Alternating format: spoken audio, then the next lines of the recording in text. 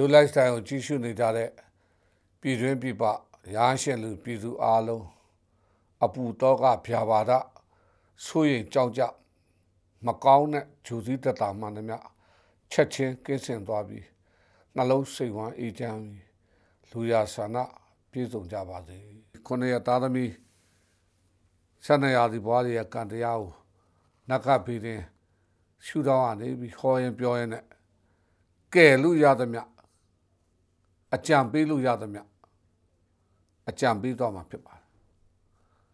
ဆောင်းရံရှောင်းရံလေးတွေပေါ့နော်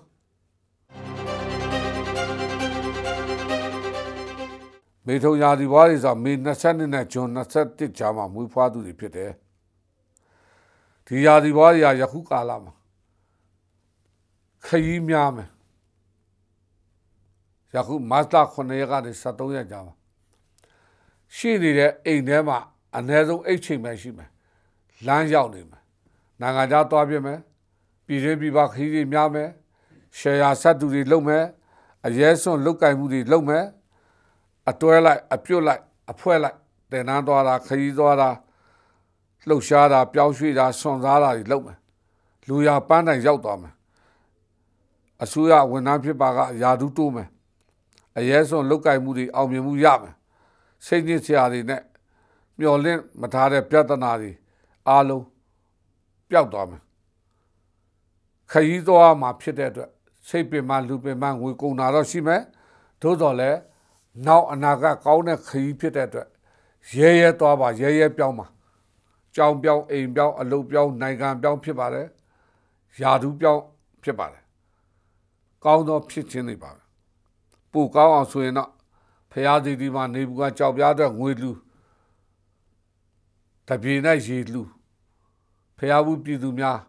အိမ်တွေရရသွားနိုင်တယ်လို့ဒါတော့တမီတော့သွားမယ်ပြည်တွင်းပြည်ပနိုင်ငံခြားခရီးသွားလန်းတာလာလန်းတာပါလေရေလူအေးလူပန်းလူလမ်းပါစီဆူတောင်း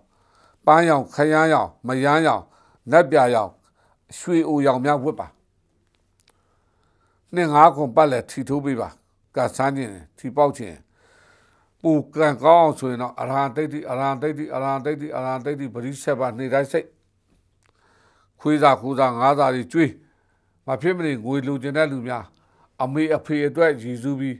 တိုက်ရှိထင်ရှားရှိရင်သူတို့စိတ်နှလုံးချမ်းသာမယ်ဟာပြုမှုဆောင်ရွက်လောက်ကင်ပေးလိုက်အဖေအမေမရှိတော့ရင်သူတို့ကိုယ်သာဖျားစီဒီဒီမှာတန်ဃာတော်တွေထားမှာတွားလှုပ်ပေးလိုက်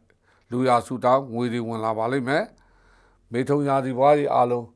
ဘေးရခတ်သိကင်းချင်းကြ၍ကြားမှာချမ်းသာလူရပြည့်စုံကြပါသည်